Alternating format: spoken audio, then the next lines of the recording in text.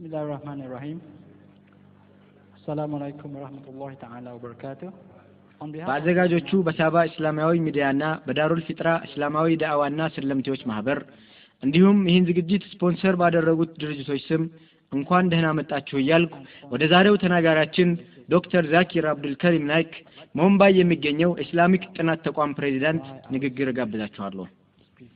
ዶክተሩ የሚታወቁት ተንቀሳቃሽ ኮምፒውተር በመባል ሲሆን ይህ ብቻም ሳይሆን በዛሬው ዕለት ውሏችን እንደተረዳነው ከሌሎቹም ቅዱሳን መጽሐፍት ብዙ ጥቅሶችን ከአእምሯቸው በቀላሉ የመጥቀስ ችሎታ ያላቸው መሆኑን ሲሆን እኔ በግሌ አእምሯቸው ስንት ሜጋባይት እንደሆነ ሳስበው.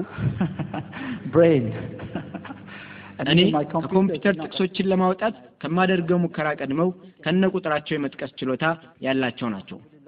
አልሐምዱሊላህ ይህ የሚያሳየን አላህ ሱብሓነሁ ወተዓላ ከፍጡራኑ መካከል የተለየ ችሎታ እንዲኖራቸው አድርጎ የመቸር ፍላጎትና አቅሙ ያለው መሆኑን ነው።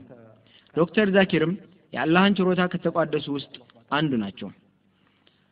ባለፉት ቀናቶች በተለያዩ ርዕሶች ላይ ዶክተሩ ንግግር ያደረጉ ሲሆን የዛሬው ምሽት ርዕሳችን በሰሌዳው ላይ እንደምትመለከቱት የምዕራቡ ዓለም ወደ ኢስላም እየመጣ ያለው ለምንድን ነው የሚል ነው።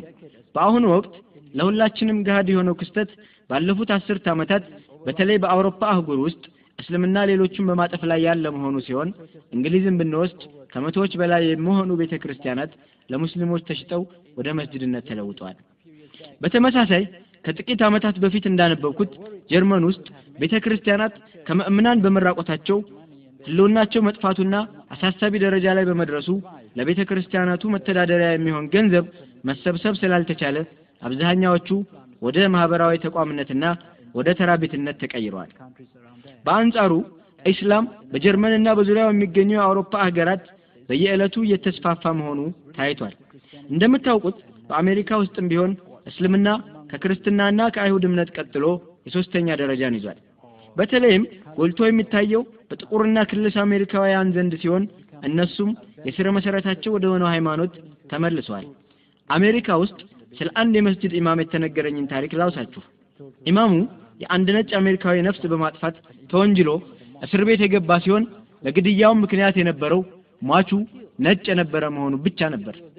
በእስር ቤት ቆይታውም አንድ እስልምናን በመስበክ ስራ ላይ የተሰማራ ሙስሊም ኢስላም የቀለም ልዩነትን በቀጥታም ይሁን በተዘዋዋሪ የማይደግፍና አጥብቆም የሚቃወም መሆኑን ስላስተማረው እስልምናን በመቀበል የማስተማርና የማስፋፋቱን ስራ ተያያዘው። ኢስላም ያመጣውን ለውጥ ተመልከቱ። ከነፍሰ ገዳይነት ወደ ትልቅ አስተማሪነት መቀየር። የአሜሪካ እስር ቤት ባለስልጣናትም የእስልምና ትምህርት የስነ ልቦና ባለሙያ ዶክተሮችና ሳይኮሎጂስቶች ከሚሰጡት ትምህርት በላይ በእስረኞቹ ላይ ያመጣው የባህሪ ለውጥ አመርቂና አስደናቂ በመሆኑ ሌላ አማራጭ ዘዴ በማጣታቸው ራሳቸው የእስልምና አስተማሪዎችን ስፖንሰር በማድረግ ያለማቋረጥ ትምህርቱ እንዲሰጥ ለማድረግ ተገደዋል። በዚህ ምሽትም ዶክተር ዛኪር እርግጠኛ ነኝ የምዕራቡ ዓለም ወደ እስልምና ለምን እየመጣ እንደሆነ ከበስተጀርባ ያሉትን እጅግ ብዙ ምክንያቶች ይገልጹልናል ኢንሻአላህ። በመጨረሻም ምዕራቡ ዓለም ብቻም ሳይሆን ሰሜኑም፣ ደቡቡም፣ ምስራቁም በአጠቃላይ መላው ዓለም ወደ እስልምና ይመጣሉ ኢንሻአላህ። የዶክተር ዛኪርን ንግግር ከመስማታችን በፊት ከሩቅ ምስራቋ ሀገር ጃፓን እዚህ መድረክ ላይ ከሱረቱል ማኢዳ የተወሰኑ አንቀጾችን ለማንበብ የመጡትን ወንድማችንን አብዱልዋሲ የቀድሞ ስማቸው ፋሩካ ኪሙራን ወደ መድረኩ ጋብዛለሁ። አልሐምዱሊላህ አንባቢያችን ጃፓናዊ ዳኢ ሲሆኑ በዳዕዋና ኡሱለዲን የ BA ዲግሪያቸውን ከመዲና ኢስላሚክ ዩኒቨርሲቲ ያገኙ ናቸው። إن شاء الله ከሱረቱል ማዒዳ አንቀጽ 78 እስከ 86 ያነቡልናል። السلام عليكم ورحمة الله وبركاته።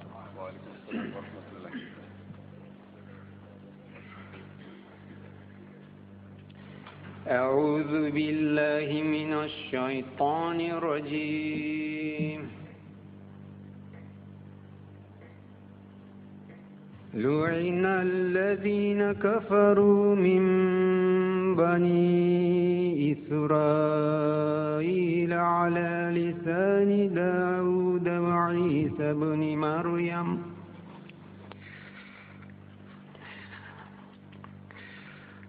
ذلك بما عسوا وكانوا يعتدون.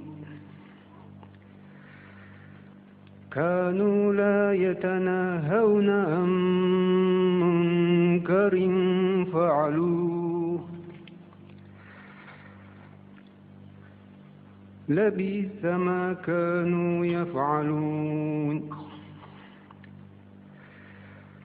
ترى كثيرا منهم يتولون الذين كفروا. لبئس ما قدمت لهم أنفسهم أن سخط الله عليهم وفي العذاب هم خالدون.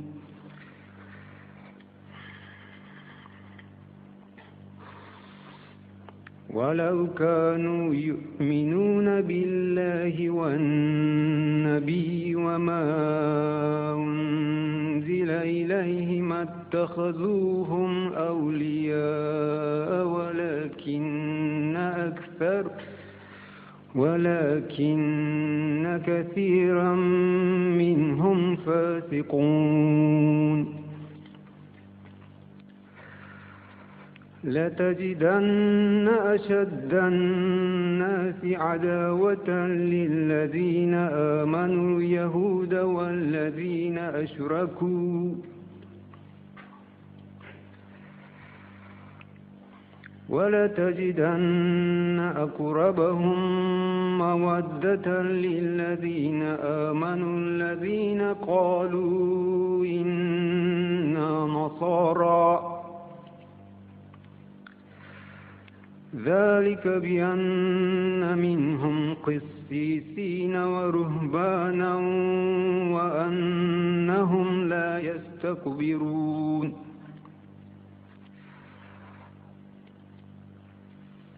وإذا سمعوا ما أنزل إلى الرسول ترى أعينهم تفيض من الدمع مما عرفوا من الحق. يقولون ربنا آمنا فاكتبنا مع الشاهدين. وما لنا لا نؤمن بالله وما جاءنا من الحق ونطمع أن يدخلنا ربنا مع القوم الصالحين. فأثابهم الله بما قالوا جنات تجري من تحتها الأنهار خالدين فيها. وذلك جزاء المحسنين. والذين كفروا وكذبوا بآياتنا أولئك أصحاب الجحيم صدق الله العظيم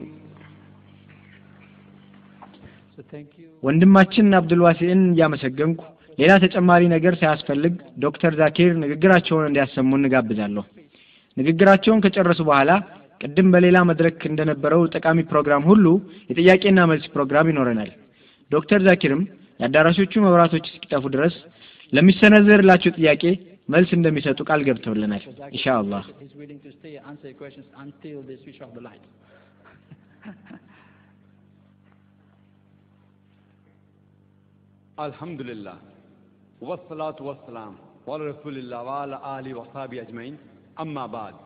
أعوذ بالله من الشيطان الرجيم بسم الله الرحمن الرحيم إن الدين عند الله الإسلام بسم الله الرحمن الرحيم رب اشرح لي صدري ويسر لي أمري واحلل عقدة من لساني يفقه قولي Respected Chairman, የተከበሩ ሊቀመንበር፣ የተከበራችሁ ወንድሞችና እህቶች I welcome ሁላችሁንም በኢስላማዊው ሰላምታ አሰላሙ አለይኩም ወራህመቱላሂ ወበረካቱሁ የአላህ ስብሓንሁ ወተዓላ ሰላምና በረከቱ በእናንተ ላይ እንዲሆን እየለመንኩ እንኳን ደህና መጣችሁ እላለሁ። ወደ ዛሬው ምሽት ርዕሳችን ስገባ የርዕሱ አቀራረብ ጥያቄያዊ ነው። የምዕራቡ ዓለም ወደ ኢስላም እየመጣ ያለው ለምንድን ነው የሚል ነው። በአንድ አረፍተ ነገር ብቻ ጥያቄውን መመለስ ካስፈለገ መልሱ የሚሆነው የምዕራቡ ዓለም ላሉበት ችግር ኢስላም መፍትሄው ስላለው ነው።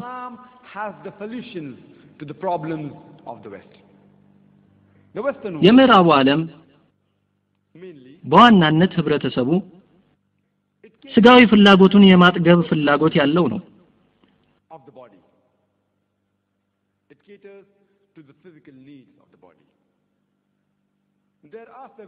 በዓለም ላይ ብዙ ሃይማኖቶች መኖራቸው ቢታወቅም አብዛኛዎቹ መንፈሳዊ የሆነውን አካል ነፍሳቸውን የማጥገብ ሚና ሲኖራቸው አልሐምዱሊላህ ኢስላም ግን ስጋዊና መንፈሳዊ የአካል ፍላጎትን የሚመግብ ትምህርትና ተግባርን ያካተተ ጣምራ ሚና ያለው ሃይማኖት ነው። spiritual need of the soul. It has a dual role. It caters to the body as well as the soul. Islam ኢስላም የሚለው ቃል ሰላም ከሚለው የአረብኛ መሰረታዊ ቃል የመጣ ሲሆን ትርጉሙም ሰላም ማለት ነው። ሌላው ትርጉሙም ለአላህ ስብሓንሁ ወተዓላ ትእዛዛት ተገዢና ታዛዥ መሆን ማለት ነው። ባጭሩ ኢስላም ማለት አላህ ለሚሻውና ለሻው ነገር ተገዢ በመሆን ሰላምን ማግኘት ማለት ነው። ቅዱስ ቁርአን የአላህ ስብሓንሁ ወተዓላ የመጨረሻው ሰማያዊ መጽሐፍ ሲሆን የመጨረሻውና መደምደሚያው ለሆኑት ነቢዩ መሐመድ ሰለላሁ ዐለይሂ ወሰለም የተሰጠ በእርሳቸው በኩል የተላለፈ መልእክት ነው። ይህ ቅዱስ ቁርአን በዚህች ምድር ላይ ካሉት መጽሐፍት ወደርና ስህተት የሌለው እርግጠኛ መጽሐፍ ነው። ቁርአን ለሰው ልጆች መተዳደሪያ የታወጀ ህግ ነው። የማያቋርጥ የእዝነትና የእውቀት ፏፏቴ ነው። ለልበ ደረቆች ማስጠንቀቂያም መልእክትም ነው። ስህተት ለሰሩ መታረሚያ መመሪያ ነው። በጥርጣሬ ውስጥ ላሉም ማረጋገጫ ነው። ለተሰቃዩት ምክራዊ መፍትሄ ሰጪና ተስፋ ለቆረጡትም ተስፋ ነው። ዛሬ የምዕራቡ ዓለም ወደ እስልምና ለምን እየመጣ እንደሆነ በጥቂቱ እንተንትን። ከምክንያቶቹ አንዱ ሆኖ የምናገኘው የምዕራባውያን አእምሮ ክፍት መሆኑ ነው።. አንድን ጉዳይ በሰፊው የማየትና የማመዛዘን ፍላጎትና ወግ አጥባቂ ያልሆነ ባህሪ ስላላቸው ነው። እንደ ሌላው ዓለም አእምሯቸው ዝግ አይደለም። እኔም በአላህ ስብሓንሁ ወተዓላ እዝነት በብዙ ክፍለ ዓለማት ጉዞ በማድረግ በተዘዋወርኩባቸው አካባቢዎች ለንግግሬ የታዳሚው ምላሽ ምን አይነት እንደሆነ ብዙ ሰዎች ሲጠይቁኝ መልሴ የዳዕዋ ሥራ ዋናው ዓላማ የአላህ ስብሓንሁ ወተዓላ መልእክትን ማድረስ ብቻ ነው። ቀጥተኛውን መንገድ እስልምናን ለሚሻው መለገስ የአላህ ብቻ ስልጣን ነው። አላህ በቁርአኑ በሱረቱል ጋሺያ ምዕራፍ 88 ቁጥር 21 ላይ አስታውስ አንተ አስታዋሽ ብቻ ነህ ይላል። ይህ አንቀጽ ለነቢዩ ሰለላሁ ዐለይሂ ወሰለም የተላለፈ ሲሆን የሚያስረዳንም የሰው ልጅ ድርሻ መልእክቱን ማድረስ ብቻ ሲሆን ማቅናቱ የአላህ ሥራ መሆኑን ነው። እናም በምዕራቡና በምስራቁ ዓለም ሰዎች መካከል ሰፊ ልዩነቶች እንዳሉ ነግራቸዋለሁ። ከነገርኳቸው ልዩነቶች ውስጥ አንዱ ሙስሊም ላልሆነ የምስራቁ ዓለም ሰው በተለይም እኔ ከመጣሁበት ህንድ ያለ አንድ ሙስሊም ያልሆነ ሰው እስልምናን ከተቀበለ ሀምሳ ምዕራባውያን የሰለሙ ያህል በኩሌታ እናየዋለን። ይህ ማለት አንድ ህንዳዊ ከምዕራቡ ዓለም ሀምሳ ሰዎች ይበልጣል ማለት ሳይሆን ለማስረዳት የሞከርኩት ህብረተሰቡ በተለይ የህንድ ማህበረሰብ በጣም ወግ አጥባቂና የአስተሳሰብ ጥበት የሚንጸባረቅበት ህብረተሰብ በመሆኑ ነው። ምንም እንኳ የምስራቁ ሰው እስልምና ትክክል መስሎ ቢያገኘውና ቢወደውም እስልምናን መቀበል አስቸጋሪ ይሆንበታል። ምክንያቱም ግለሰቡን ለብዙ ችግሮች የሚዳርገው በመሆኑና ህብረተሰቡንም በመፍራት ነው። ለምሳሌ ህብረተሰቡ የተለያዩ ማዕቀቦችን በግለሰቡ ላይ ሊጥል ይችላል። በዚህ ጊዜ የኢኮኖሚ ችግር ላይ ሊወድቅ ይችላል። ህይወቱን ለአደጋ እስከ ማጋለጥ የሚደርሱ ብዙ ማህበራዊ ችግሮችን የመጋፈጡ አጋጣሚም ሰፊ ነው። ስለዚህ አንድ ምስራቃዊ ሰው እስልምናን አጥብቆ ቢወደው እንኳ የመቀበሉ ጉዳይ ከምዕራባውያን ጋር ሲነጻጸር አስቸጋሪ ይሆንበታል ማለት ነው። የህብረተሰቡ ወግ አጥባቂነትና የአስተሳሰብ ጠባብነት እስልምናን ላለመቀበሉ ዋና ምክንያቶች ናቸው። ይህ ግን ሙስሊም ላልሆነው የምስራቁ አካል ይቅርታ የሚያሰጥ ምክንያት መሆን የለበትም። ለዚህ ድርጊቱም አላህ ስብሓንሁ ወተዓላ ዘንድ ከመጠየቅ አይድንም። ከምዕራቡ ዓለም ጋር በንጽጽር ስንመለከተው አልሐምዱሊላህ በብዙ ቦታዎች መካከለኛውን ምስራቅ ጨምሮ በብዙ መድረኮች ንግግር አድርጌያለሁ። አንዳንድ የምዕራቡ ዓለም ሰዎች ያለ መሰልቸት ንግግሬን በመከታተል ከጥቂት ንግግሮቼ አንዳንዴም ከአንድ ከተወሰነ ንግግር በኋላ እስልምናን እጅግ በጣም በመውደድ መድረኩ ማብቂያ ላይ እስልምናን መቀበላቸውን ህዝብ ፊት አውጀዋል። ምዕራቡ ዓለም ላይ እስልምና ከተስፋፋበት ምክንያቶች አንዱ ምዕራቡ ዓለም አስተሳሰቡን አስፍቶ የማየቱ ጉዳይ ነው። በአንድ ቤተሰብ ውስጥ የቤት አባወራ ክርስቲያን ቢሆንም እንኳን ልጆቹ እስልምናን ቢቀበሉ አባትየው ተቃውሞ አያሳዩም። አንድ ቤት ጥላ ስርም አብረው ያለምንም ችግር ይኖራሉ። የዚህ አይነት ክስተት ህንድ ሀገር ውስጥ አይታሰብም። አባት አንድ አይነት ሃይማኖት ተከታይ ሆኖ ልጆቹ የሌላ ሃይማኖት ተከታይ ሆነው አብረው የመኖሩ ክስተት በጭራሽም አይታሰብም። እንደዚህ አይነት ቤተሰብም አይገኝም። ስለዚህ ነው ምዕራባውያን ሃይማኖትን በተመለከተ እንደ ምስራቁ ዓለም ወግ አጥባቂና ጠባብ አስተሳሰብ ያላቸው አይደሉም የምለው። እስልምናን ለመቀበሉ ሁለተኛው ምክንያት የሆነው ደግሞ ምዕራቡ ዓለም በሳይንስና ቴክኖሎጂ እጅግ የተራመደ መሆኑ ነው። አሁን ባለንበት ወቅትም በሳይንስና ቴክኖሎጂ የመጠቀው ምዕራቡ ዓለም ነው። እንደ ታዋቂው አልበርት አንስታይን አባባል ሳይንስ ያለ ሃይማኖት ሰንካላ፣ ሃይማኖት ደግሞ ያለ ሳይንስ እውር ነው። ምዕራቡ ዓለም ሳይንስ የአንድ ነገር መፈተሻ ነው ብሎ ፈርጆታል። ሳይንስን የነገሮች የመጨረሻ መለኪያ ለማድረግ ይጠቀሙበታል። الحمد لله ቁርአን ስለ ሳይንስ ብዙ ቦታዎች ላይ ይናገራል። ቁርአን የሳይንስ መጽሐፍ አይደለም። በአንጻሩ signs S I የሚለው የእንግሊዝኛ ትርጉም የተአምራዊ ምልክቶች መጽሐፍ ነው። ከስድስት ሺህ በላይ የሚሆኑ ተአምራዊ ምልክቶች ቁርአን ውስጥ እንዳሉ ይታወቃል። ከተጠቀሱት ምልክቶች ከሺህ የሚበልጡት ሳይንስን ያመላክታሉ። ቀደም ባለ ጊዜ ስለ ቁርአንና ሳይንስ መጣጣምና አለመጣጣም ቁርአንና ዘመናዊ ሳይንስ ግጭት ወይስ ስምምነት በሚል ርዕስ ያደረግኩትን ንግግር ሳትሰሙትና ሳታዩት አይቀርም። ስለዚህ የምዕራቡ ዓለም ሳይንስን የመጨረሻ መለኪያ አድርጎት ቢወስደውም የምዕራቡን ሳይንሳዊ ግኝት እኛ በመውሰድ የእኛ ወደር የለሽ መለኪያችን ቁርአንን ይዘን በመጠቀም የምዕራቡ ዓለም በቅርብ ጊዜ ያገኟቸውን ሳይንሳዊ ግኝቶች ቁርአኑ ከ1400 ዓመታት በፊት የጠቀሳቸው መሆኑን እናረጋግጣለን። ምዕራባውያኑ በሳይንስና ቴክኖሎጂ በአሁኑ ወቅት የመጠቁ በመሆናቸው ምናልባትም ከእነርሱ ጋር በሂክማ የውይይት መድረክ ስንከፍት ቁርአን ከሳይንስ በጣም የላቀ መሆኑን አልሐምዱሊላህ የሚገነዘቡና ብዙሃኑም ወደ እስልምና የሚመጡ ይሆናሉ። የምዕራቡ ወደ እስልምና መምጣት ሶስተኛው ምክንያት ደግሞ አልሐምዱሊላህ ምዕራባውያን አንድን ጉዳይ የመመርመርና የማጣራት ምክንያታዊ ባህሪ አላቸው። አንድን ነገር እንዲሁ በደፈና አይቀበሉም። ተመራምረውና ጥናት ካካሄዱ በኋላ ነው ወደ ማመኑ ደረጃ የሚደርሱት። አብዛኛዎቹ እንደተወሰኑ ሰዎች ከንቱ ፋይዳ ቢስ አምላኪዎች ወይም ጭፍን በሆነ መልኩ ያለ ጥናትና ምርምር የሚያምኑ ሰዎች አይደሉም። ይህ አይነት ባህሪም ቅዱስ ቁርአን በትክክል የተናገረው ነው። ሱረቱ ነህል ምዕራፍ 16 አንቀጽ 125 ላይ ወደ ጌታህ መንገድ በጥበብና በመልካም ግሳጼ ጥራ፣ ከእነርሱ ጋር በዚያ ይበልጥ መልካም በሆነች መንገድና ስልት ተወያዩ ይለናል። ሁልጊዜም ቁርአን መልካም ውይይትን፣ ሂክማ የተሞላበት ክርክርን ይጋብዛል። ብዙ የቁርአን አንቀጾች ለምሳሌም ሱረቱል በቀራ ምዕራፍ 2 አንቀጽ 242 ላይ ታስተነትኑ ዘንድ ይላል። ቁርአን ሰዎች እንዲያውቁትና እንዲረዱት ከተጣራ በኋላ እንዲቀበሉትም ይጋብዛል። ሱረቱ ኢብራሂም ምዕራፍ 14 አንቀጽ 52 ላይ ይህ ቁርአን ለሰው ልጆች የተላለፈ መልእክት ነው፣ ማስጠንቀቂያ የሚሆናቸው ምክርና ትምህርት ያገኙበት እርሱ ብቸኛ አምላክ መሆኑን ያወቁ አስተዋዮችም ይገሰጹበት ዘንድ ታውጇል ይለናል።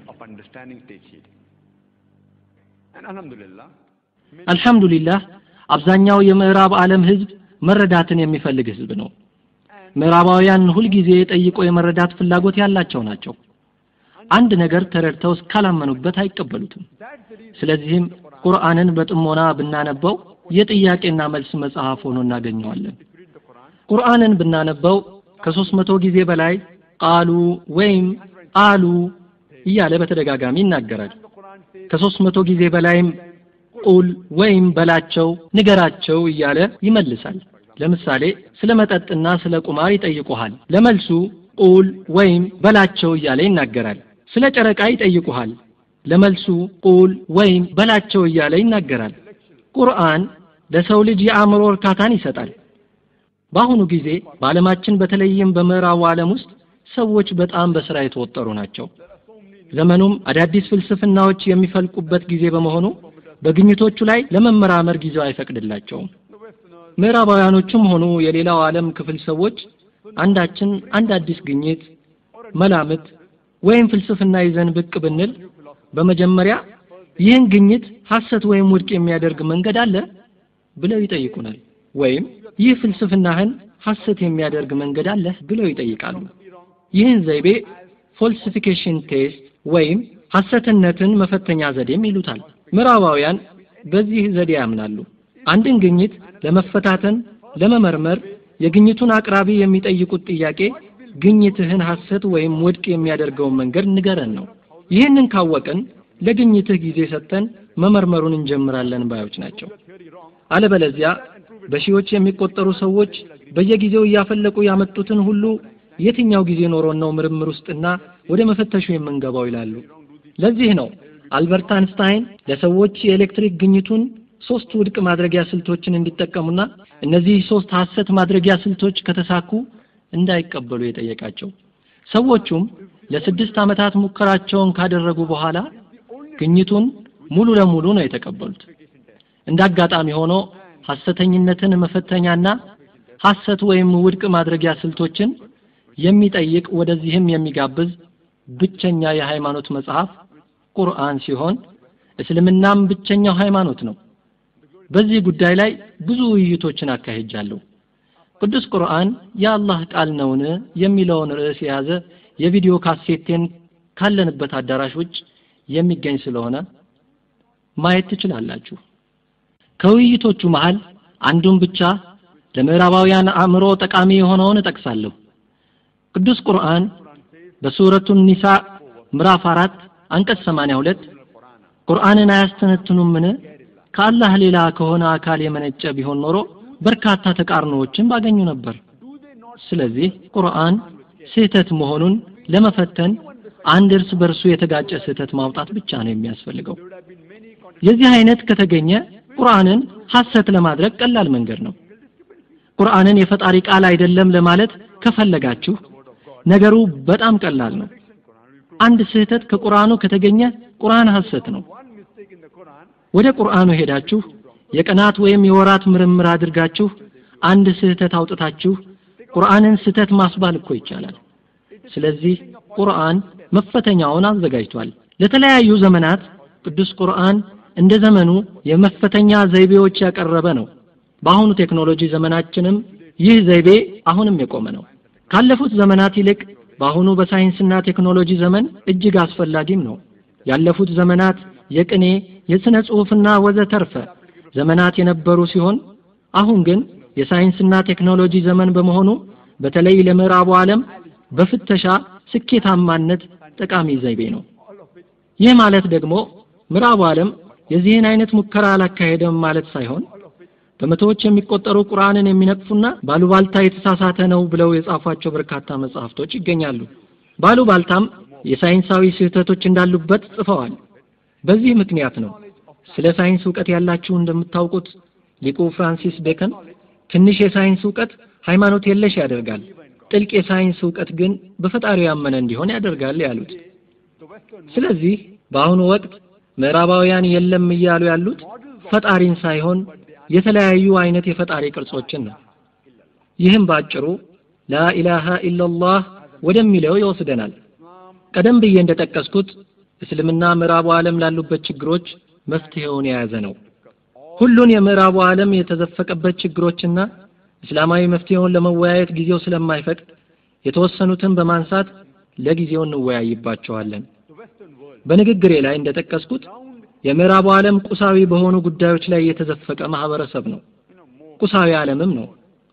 ትኩረታቸው ስጋዊ ጥማቸውን ለማርካት ብቻ በመሆኑ በቁሳዊው ዓለም ውስጥ ተዘፍቀዋል።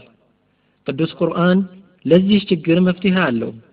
ቁርአን ሱረቱ ተውባህ ምዕራፍ 9 አንቀጽ 34 እና 35 ላይ እነዚያ ወርቅንና ብርን የሚያከማቹትን በአላህ መንገድም የማይፈጽሙትን በአሳማሚ ቅጣት አብስራቸው በገሃነም እሳት እንዲግሉ በሚደረግበትና በግንባሮቻቸው በጎኖቻቸውና ጀርባዎቻቸው በእነርሱ በሚጠበሱበት ቀን ይህ ለነፍሶቻችሁ ያከማቻችሁት ቅጣት ነው።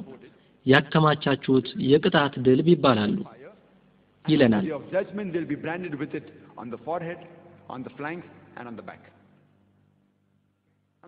በሌላ የቁርአን አንቀጽም ይህ ዓለም ለሰው ልጅ የመፈተኛ ጊዜ መሆኑን ሱረቱል ሙልክ ምዕራፍ 67 አንቀጽ ሁለት ላይ ጠቅሶታል። ማንኛቸው ስራው እውነተኛ እንደሆነ ሊፈትናችሁ? ሞትንና ህይወትን የፈጠረ አምላክ ነው።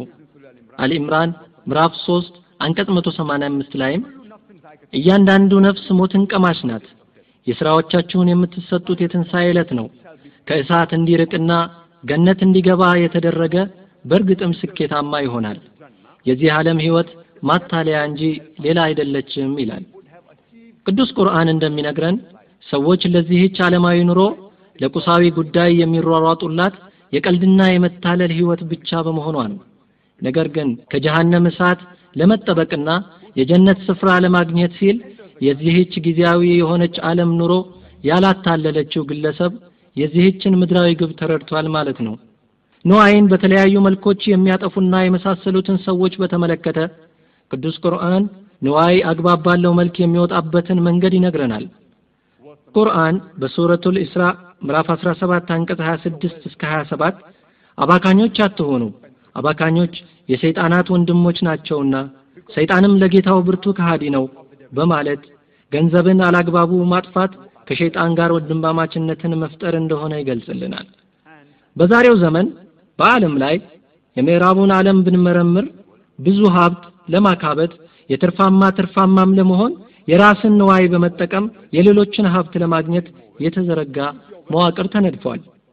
ይህ መዋቅርም ጉቦ ወይም ሙስና ተብሎ ይጠራል። ቁርአን በሱረቱል በቀራ ምዕራፍ 2 አንቀጽ 188 ከመካከላችሁ አንዱ የሌላውን ገንዘብ አላግባብ አይብላ። የሌሎችን ገንዘብ አግባብነት በሌለው መልኩ ለመብላት ሲልም በዳይ መሆኑን እያወቀ ጉዳዩን ለዳኞች አያቅርብ ይለናል። ይህ ደግሞ ሀብታችሁን ለዳኞች ወይም ለባለስልጣኖች እየሰጣችሁ የሌሎችን ሀብት ንብረትና ንዋይ ወዘተርፈ መብያ ዘዴ አድርጋችኋል ማለት ነው። ጉቦ በእስልምና የተከለከለ ነው። እንዲሁም ቁርአን በሱረቱል ሁጅራት ምዕራፍ 49 አንቀጽ 11 እና 12 ላይ እናንተ ያመናችሁ ሆይ ከውስጣችሁ ወንዶች በወንዶች ላይ አይሳለቁ። ምናልባት የሚፌዝባቸው የበለጡ ሊሆኑ ይችላሉና። ሴቶችም በሴቶች ላይ አይሳለቁ። ምናልባት የሚፌዝባቸው ወገኖች ከሚያፌዙት የበለጡ ሊሆኑ ይችላሉና። አንደኛው ሌላውን አያነውር።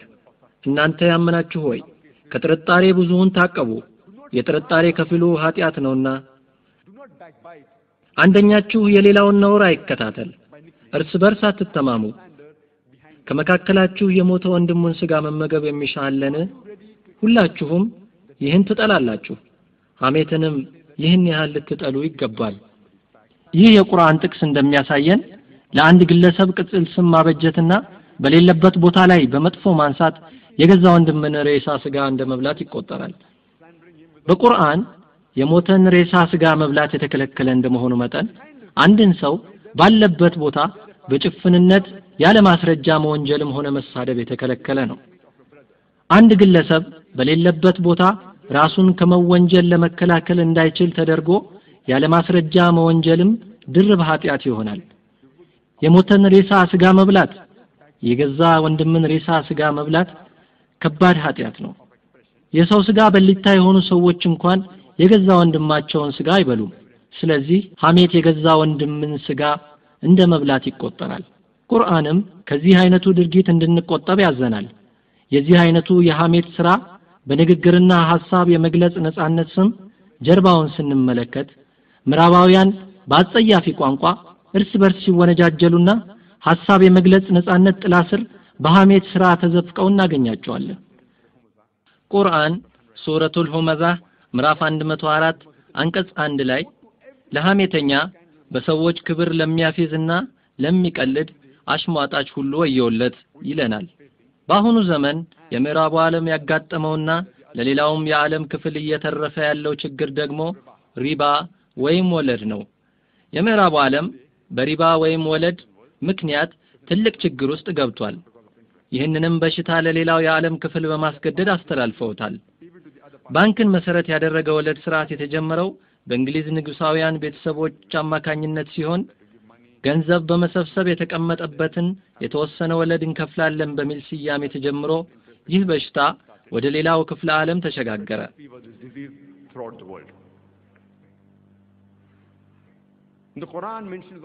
በቁርአን ስለ ወለድ ከስምንት ጊዜ ባላነሰ ቦታ ላይ ቃሉ ተጠቅሷል።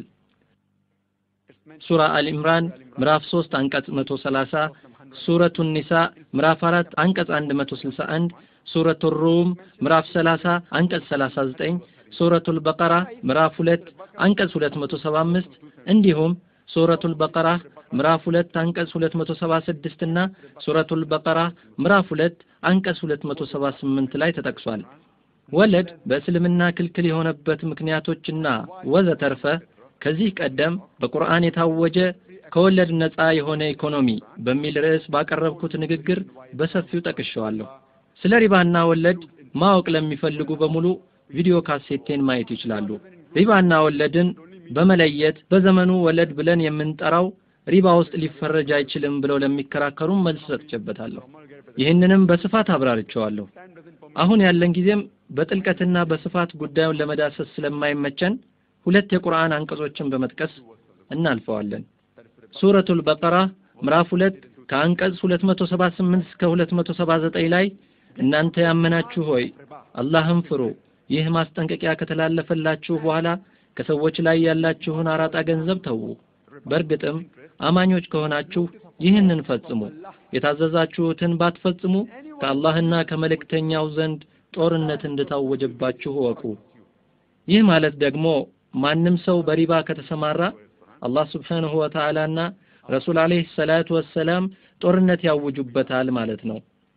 ብዙ ከባድ የሆኑ ኃጢአቶች ቁርአኑ ውስጥ ተጠቅሰዋል። ነገር ግን የሪባ ኃጢአትን ከሌላ የሚለየው አላህ ስብሓንሁ ወተዓላና ረሱል አለይሂ ሰላቱ ወሰላም ጦርነት ግለሰቡ ላይ ማወጃቸው ነው። በሪባ ወይም ወለድ የምትሰሩ ከሆነ አላህ ስብሓንሁ ወተዓላና ረሱል አለይሂ ሰላቱ ወሰላም ጋር ጦርነት ለመግጠም ሆን ብላችሁ እየጋበዛችሁ ነው።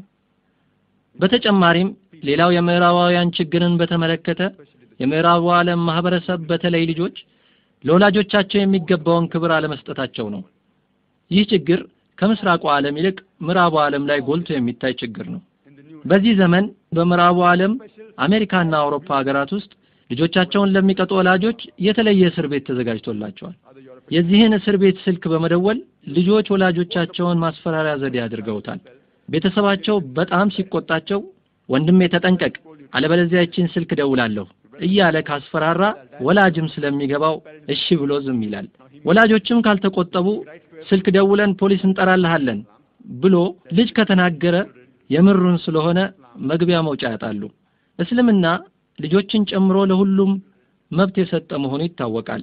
ቁርአንም ሲያስጠነቅቅ በሱረቱ ኒሳ ምዕራፍ አራት አንቀጽ 171 ላይ በሃይማኖታችሁ ወሰንን አትለፉ ይላል። በተፈጥሮም ልጆች ጥበቃ የሚደረግላቸው ናቸው። ነገር ግን አሁን የምናየው በልጆች እንክብካቤ ስም ልጆች ለወላጆቻቸው ማስፈራሪያና መበዝበዣ መሆናቸውን ነው። ልጆች አንድ ነገር ሊያስገዙ ፈልገው ወላጆች ቢከለክሉ ልጆቹ የፖሊስ ጥሪን የውሸት ፉከራ ቢሆንም እንደ መበዝበዣ ስልት አድርገውታል። ከተደወለ ፖሊስ መጥቶ ወላጆችን መወንጀልም ሆነ ከማስፈራራት አንስቶ እርምጃ እስከ መውሰድ ሊደርስ ይችላል። ቅዱስ ቁርአን በብዙ ቦታዎች ላይ ወላጆችን ልጆች እንዲያከብሩ ያዛል። ሱረቱል ሉቅማን ምዕራፍ 31 አንቀጽ 14፣ ሱረቱል አህቃፍ ምዕራፍ 46 አንቀጽ 15፣ ሱረቱል አንዓም ምዕራፍ 6 አንቀጽ 151 ብዙ ቦታዎች ላይ ተጠቅሷል። በተለይ ሱረቱል ኢስራ ምዕራፍ 17 አንቀጽ 23 እና 24 ላይ እንዲህ ይላል፣ ጌታህም እርሱን እንጂ እንዳታመልኩ ደንግጓል፣ ለወላጆቻችሁም መልካም እንድትውሉ ወስኗል። በተለይም አንዳቸው ወይም ሁለቱ ከእናንተ ዘንድ ሆነው እርጅና ከተጫጫናቸው ኡፍ አትበላቸው፣ አትገላምጣቸው፣ መልካምን ቃል ተናገራቸው፣ ከእዝነት የመነጨን የትህትና ክንፍ ዝቅ አድርግላቸው።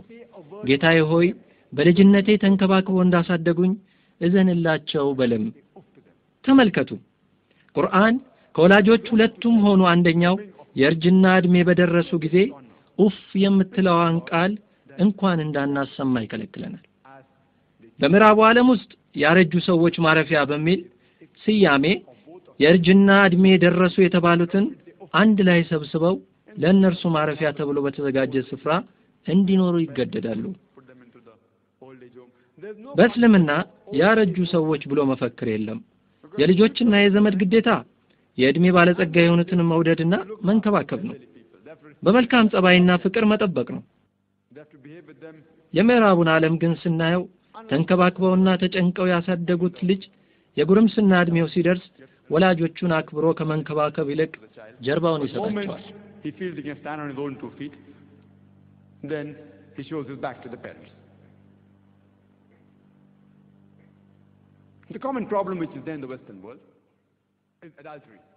ሌላው የምዕራቡ ሀገሮች የሚጋሩት ችግር ዚና ወይም ዝሙት ነው። ቅዱስ ቁርአን በሱረቱል ኢስራ ምዕራፍ 17 አንቀጽ 32 ላይ ዝሙትን አትቅረቡ እርሱ እጅግ ጸያፍ ተግባርና መንገድ ነውና ይለናል። የዝሙት ስራ ሰይጣናዊ ስራ ሆኖ እያለ ወደ ሌላ ሰይጣናዊ ስራ መግቢያ መንገድ መሆኑን ያስረዳናል። ለዚህም ነው በእስልምና ጋብቻ ግዴታ የሆነው። መቁረብ፣ ገዳም መግባት በእስልምና ቦታ ያልተሰጠው ክስተት ሲሆን የተወደዱ ነቢያችን ሰለላሁ ዐለይሂ ወሰለም ሰሂህ አልቡኻሪ ኒካህ ወይም ጋብቻ በሚለው መጽሐፍ ምዕራፍ 3 ሐዲስ ቁጥር አራት ላይ ወጣቶች ሆይ ከእናንተ መሃል የማግባትን ጣጣ የቻለ ያግባ ነው ያሉት። ነቢያችን صلى الله عليه وسلم በሌላ ዘገባ ትዳር የያዘ ሰው ግማሽ ዲኑን አሟልቷል ብለዋል። በአንድ ጥያቄና መልስ መድረክ ላይ አንድ ጠያቂ ደግሜ ባገባ ሙሉ ዲኔን አሟልቻለሁ ማለት ነውን ብሎ ጠይቆኛል። ነቢያችን ሰለላሁ ዐለይሂ ወሰለም ትዳር የአንድን ሰው ግማሽ ዲን ማሟያ ነው ማለታቸው ትዳር ከወሲብ፣ ከጭንቀት፣ ከግብረ ሰዶማዊነት፣ ከዝሙት ወዘተ ለህብረተሰብ ጠንቅ ከሆኑ ሰይጣናዊ ስራዎች አንድን ሰው የሚጠብቅ የተቀደሰ ተግባር ስለሆነ ነው። ጋብቻ ከመሰረታችሁ ብቻ ነው የአባትነትና የእናትነት ስያሜ እድል የሚገኘው። እነዚህ ስያሜዎች በእስልምና ትልቅ ደረጃ ያላቸው ስያሜዎች ናቸው።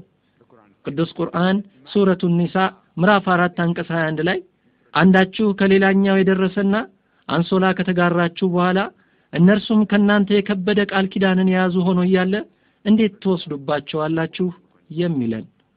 በሌላ ቁርአን አንቀጽ ሱረቱ ሩም ምዕራፍ 30 አንቀጽ 21 ላይ ከራሳችሁም የሆነች ተጣማሪ ትረኩባት ዘንድ መፍጠሩ በመካከላችሁም ፍቅርና መተዛዘንን ማድረጉ ከተአምራቱ ነው። በዚህ ውስጥ ለሚያስተነትኑ ሰዎች ታምራት አለ ይለናል። ስለዚህ ጋብቻ በኢስላም ግዴታ ነው። በዛሬው ዘመን የምዕራቡ ዓለም ከሚያጋጥሙት ችግሮች አንዱ በምስራቁ ዓለም ጎልቶ የማይታየው ችግር የሴቶች ቁጥር መብዛት ነው። ምዕራቡ ዓለም ላይ ከወንዶች ይልቅ ሴቶች ብዛት አላቸው። በምስራቁ ዓለም የሴቶች ቁጥር ከወንዶች በልጦ ጎልቶ ያልታየበት ምክንያት ሴት ሆኖ የተገኘን ጽንስ የማጨናገፍ ተግባር ነው።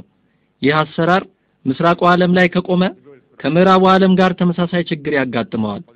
ቅዱስ ቁርአን ሱረቱ ኒሳ ምዕራፍ አራት አንቀጽ ሶስት ለዚህ ችግር መፍትሄ ሊሰጠን እንዲህ ይላል፣ ከሴቶች የመረጣችኋቸውን አግቡ፣ ሁለት ሁለት፣ ሶስት ሶስት፣ አራት አራትም ፍትህ እንዳታጓድሉ ከሰጋችሁ አንዲትን ብቻ አግቡ በማለት አንድ ግለሰብ አንድ ሁለት ሶስት እስከ አራት ሚስት ድረስ እኩል መዳኘት ከቻለ ማግባት የሚችል መሆኑን ገልጾ እኩል ለመዳኘት ካልቻለ አንድ ሚስት ብቻ ያግባ ይላል። በተመሳሳይም በሌላ ቦታ ቅዱስ ቁርአን ሱረቱ ኒሳ ምዕራፍ 4 አንቀጽ 129 ላይ እንዲህ ብሎናል። ሴቶችን ያለ አድሎ ማስተዳደር አይቻላችሁም፣ ይህን ለማድረግ ብትጓጉም እንኳ። ስለሆነም ወደምታፈቅሯት ሙሉ በሙሉ በመዘንበል ለእርሷ በማድላት ሌላኛዋን እንደተንጠለጠለች አድርጋችሁ አትተዋት፣ ችላም አትበሏት። እዚህ ላይ ቁርአን የሚነግረን ፍቅርን በተመለከተ ነው። ሁለት ሚስቶችን እኩል መውደድ የሚከብድና የማይቻል መሆኑን ነው። እናት ልጆቿን ብትወድ እንኳ ማንኛውም እናት ሁለት ልጆቿን መቶ በመቶ እኩል እወዳለሁ ማለት አትችልም። እኩል ልትወዳቸው አትችልም። ለሁለቱም ልጆቿ ፍቅር ቢኖራትም አንዱን ልጅ የምትወድበት ደረጃ ሌላውን ከምትወድበት ደረጃ ይለያያል። ማንም እናት ሁለቱንም ልጆቿን እኩል እወዳለሁ ማለት አትችልም። የማይሆን ነገርም ስለሆነ ነው። ዝቅና ከፍ ምንጊዜም ይኖረዋል። በአጠቃላይ የደረጃ ልዩነት ቢኖርም ኢፍትሃዊነት መኖር ግን የለበትም። ቅዱስ ቁርአን በፍቅር የደረጃ ልዩነት መኖሩን ቢያረጋግጥም በሌላ ጉዳይ እንዳንበድላቸው ያስጠነቅቀናል። በገንዘብ ጊዜ በመስጠትም ሆነ በንብረት ወዘተርፈ ለምሳሌ ለአንዷ ቤት ተገዝቶ ለሌላኛይቱ አለመግዛት በመሳሰሉት ጉዳዮች እንዳንበድላቸው ይነግረናል። ቁርአን የሚነግረን ከአንድ ሚስት በላይ ማግባት የምንችለው እነዚህን ጉዳዮችን ማሟላት ከቻልን ብቻ መሆኑን ነው። በፍትህ ማስተዳደር ካቃተን ከአንድ በላይ አይፈቀድም። ብዙ ሰዎች ከአንድ ሚስት በላይ አግቡ የሚለውን የቁርአን ጥቅስ እንደ አላስፈላጊ ጉዳይ ይመለከቱታል። ይህ የመረዳት ችግር ነው። በእስልምና ውስጥ በሚፈቀዱና በማይፈቀዱ መደቦች መካከል አምስት ደረጃዎች አሉ። የመጀመሪያው ፈርድ ወይም ግዴታዊ፣ ሁለተኛው ሙስተሃብ ወይም የተወደደ እንዲደረግም የሚገፋፋ፣ ሶስተኛው ሙባህ በምርጫ ወይም በፈቃድ የሚወሰድ ሲሆን አራተኛው መክሩህ ወይም የተጠላ እንዲደረግ የማይገፋፋ ነው። አምስተኛው ደግሞ ሐራም ወይም የተከለከለ ናቸው። ከአንድ በላይ ሚስት ማግባት የሚወድቀው በመካከለኛው ወይም በሶስተኛው ሙባህ መደብ ላይ ነው። በቅዱስ ቁርአን ከአንድ ሚስት በላይ አንድ ሰው ካገባ ብዙ ሰዋብ ወይም ብዙ ምንዳ ያገኛል የሚል አንቀጽ የለም። እስቲ ቅዱስ ቁርአን ከአንድ ሚስት በላይ ማግባትን የፈቀደበትን ጉዳይ እንመርምር። በተፈጥሮ ሴቶችና ወንዶች በእኩል ቁጥር ይወለዳሉ። በህፃንነት እድሜያቸው ግን ማንኛውንም የህፃናት ሐኪም ብትጠይቁ ሴቶች ልጆች ከወንዶች ልጆች ይበልጥ ሰውነትን የሚያጠቁ ጀርሞችን የመከላከል አቅም ያላቸው መሆኑን ሊነግራችሁ ይችላል። ስለዚህ በጨቅላ እድሜያቸው እንኳ የወንዶች ልጆች ለሞት የመጋለጡ አሃዝ ከሴቶች ልጆች በልጦ መገኘቱን እንገነዘባለን። በልጅነት እድሜ ራሱ የሴት ልጆች ቁጥር ከወንድ ልጆች ቁጥር በልጦ እናገኘዋለን። በእድሜ መግፋት፣ በጦርነት፣ በሲጃራ ማጨስ ወዘተ የወንዶች ቁጥር ሁልጊዜ የሚያሽቆለቁል መሆኑ የተረጋገጠ ሲሆን በእነዚህም ምክንያቶች ከሴቶች ይልቅ ወንዶች ቀድመው የሚሞቱ መሆኑን ያሳየናል። በአሁኑ ጊዜም በዓለማችን ላይ በንጽጽር የሴቶች ቁጥር ከወንዶች እንደሚበልጥ የተረጋገጠ ነው። በአንዳንድ እንደ ህንድ አይነት ሀገሮች ውስጥ የወንድ ቁጥር ከሴቱ ቁጥር በዝቶ ነው የምናገኘው። ይህም የሆነበት ምክንያት ቀደም ብዬ እንደተናገርኩት ሴት ልጅን በጽንስ ዕድሜ መግደል ስለሚተገበር ነው። በኤሚል ባኬኒን እንደተዘጋጀው የቢቢሲ ዜና ሪፖርት በየቀኑ ህንድ ሀገር ውስጥ ከሶስት ሺህ በላይ ማህፀን ውስጥ ያለ ጽንስ ሴት ልጅ መሆኑ ከተረጋገጠ እንዲወርድ ይደረጋል። ይህን መጥፎ ድርጊት መከላከል ከተቻለ ህንድ ሀገር ውስጥም ሆነ ይህንን ድርጊት የሚፈጽሙ ሀገራት ውስጥ የሴቱ ቁጥር ከወንዱ በልጦ እናገኘዋለን። ይፋ በሆነ ህዝብ ቆጠራ መሰረት አሜሪካ ውስጥ ብቻ ሴቶች በሰባት ነጥብ ስምንት ሚሊዮን ከወንዶች በልጠው ይገኛሉ። ኒውዮርክ ከተማ ብቻ ሴቶች ከወንዶች በአንድ ሚሊዮን ቁጥር ይበዛሉ። ከኒውዮርክ ከተማ ነዋሪዎች ውስጥ አንድ ሶስተኛው የወንድ ቁጥር ግብረ ሰዶማዊ ነው። ማለት የሉጥ ህዝቦች ያደረጉት አጸያፊ ድርጊት አድራጊዎች አይነት ማለት ነው። አጠቃላይ አሜሪካ ውስጥ 25 ሚሊዮን በላይ ግብረ ሶዶማውያን ይገኛሉ። ይህ ደግሞ ሌላ ችግር ነው። 25 ሚሊዮን እንግሊዝ ሀገር ውስጥ ብቻ የሴቶች ቁጥር ከወንዶች በአራት ሚሊዮን ይበልጣል። በጀርመንም እንዲሁ ሴቶች ከወንዶች በአምስት ሚሊዮን ይበልጣሉ። በሩሲያ ውስጥ ብቻ ሰባት ሚሊዮን ሴቶች ከወንዶች ቁጥር በላይ ሆነው ይገኛሉ። በቀረው የዓለም ክፍል ውስጥ የሴቶች ቁጥር ከወንዶች በምን ያህል እንደሚበልጥ አላህ ሱብሓነሁ ወተዓላ ብቻ ነው የሚያውቀው። ለክርክሩ ያህል የምዕራቡ ዓለም ወይም ሙስሊም ያልሆነው አካልን ፍልስፍና አንድ ለአንድ ብሎ የፈረጀውን መመሪያ ብቀበል የኔ እህት አሜሪካን ውስጥ ነዋሪ ብትሆን ኖሮና እንደተባለው አንድ ወንድ አንድ ሴትን ብቻ አግብቶ ሁሉም ተጋብቶ አንድም የሚጋቡ ሴትና ወንድ ባይቀሩ ከሰላሳ ሚሊዮን በላይ ሴት ያለ ባል የሚቀሩ መሆኑን ያሳያል። ሰባት ነጥብ ስምንት ትርፍ የሴቶች ብዛት እዚህ ላይ 25 ሚሊዮን ግብረ ሰዶማውያን ሲጨመሩ በአሜሪካን ከሰላሳ ሚሊዮን በላይ ሴቶች ባል አልባ ሆነው እናገኛቸዋለን። ከሰላሳ ሚሊዮን በላይ አሜሪካ ውስጥ የምትኖረው እህቴ ወይም ከእህቶቻችን አንዷ የሆነች ምን አማራጭ ይኖራታል? ያላገባ ወንድ አግኝታ ካገባች መልካም፣ አለበለዚያ ትዳር ለያዘ ወንድ ሁለተኛ ወይም ሶስተኛ ሚስት ትሆናለች፣ ወይም የህዝብ ንብረት ሆና ትቀራለች። ሰዎች ዶክተር ዛኪር የዚህን አይነት የህዝብ ንብረት ሆና ትቀራለች የሚል አስቀያሚ ቃል እንዴት ይጠቀማል ሊሉኝ ይችላሉ። እንደውም እኔ ዳኢ በመሆኔ ምዕራባውያን በሚገልጹት መልክ ሊገልጸው ስለማልችል ከተናገርኩት አረፍተ ነገር በላይ ላከብደው አልችልም። አሜሪካ ውስጥ የምትኖረው እህቴም እህታችንም ሌላ ሶስተኛ አማራጭ አይኖራትም። ክብሯን የምትጠብቅ ማንም ሴት ሁለተኛ ሚስት መሆንን የህዝብ ንብረት ከመሆን እንደምትመርጥ አልጠራጠርም። በምዕራቡ ዓለም ዕቁባቶችን መያዝ በጣም የተለመደ ድርጊት ነው። በአሜሪካ ስታስቲክስ ሪፖርት ጥቆማ መሰረት አንድ ወንድ ከአንዲት ሴት ጋር ረግቶ እስከሚታይ ድረስ በአማካኝ ቢያንስ ስምንት ሴቶች የግብረ ስጋ ጓደኞች እንደሚኖረው ይጠቁመናል። አንዳንዶቹ አስራ አምስት ሰላሳ ሁለት ወዘተ ሊኖራቸው ይችላል። በአማካኝ ግን ስምንት ሴት የግብረ ስጋ ጓደኞች ይኖሩታል። ከአንዷ ጋር እስኪረጋ ማለት ነው። አስር ሀያ ሰላሳ ቁባቶች መያዝ ምንም አይነት ችግር እንደሌለው እንመለከታለን። ነገር ግን ማንንም ሴት ብንጠይቃት ዕቁባት መሆንን የምትቀበል ሴት ክብር የሌላት በዝቅታ ደረጃ የምትታይ ምንም መብት የሌላት ትሆናለች ነው መልሷ።